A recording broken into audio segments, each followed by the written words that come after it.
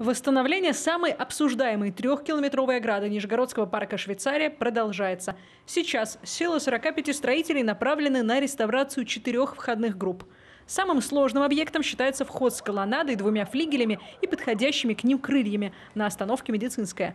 Обследование осенью прошлого года показало, фундамент этого объекта в плохом состоянии. Там был забутовочный фундамент, э, силикатный кирпич, ну и он начал уже разрушаться, как говорится.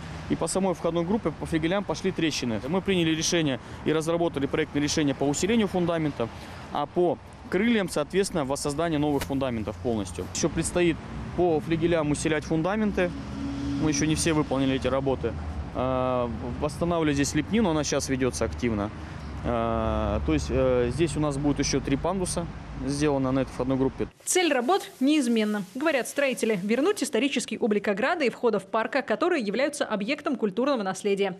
Исторически во флигелях были окна, которые в какой-то момент заложили кирпичами, и двери из дуба, на месте которых установили железные двери. Все проемы дверные, все окна, которые были ранее по проекту 57 года, они здесь будут установлены. Что разместится во флигеле, пока неизвестно.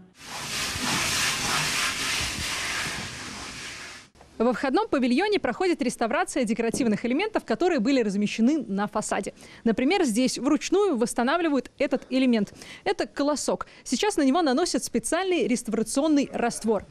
Потом получится данный полуфабрикат. Его ждет еще несколько процедур. Шлифовка, грунтовка, покраска. И так несколько раз. Колоски и венки после реставрации вернут на прежние места. В планах закончить все восстановительные работы входных групп к июню. Общий процент выполнения работ по реконструкции парка Швейцария, крупнейшего проекта благоустройства к 800-летию города, составляет 40%. В парке меняют дорожки, освещение, устанавливают спортивные, игровые, культурные площадки.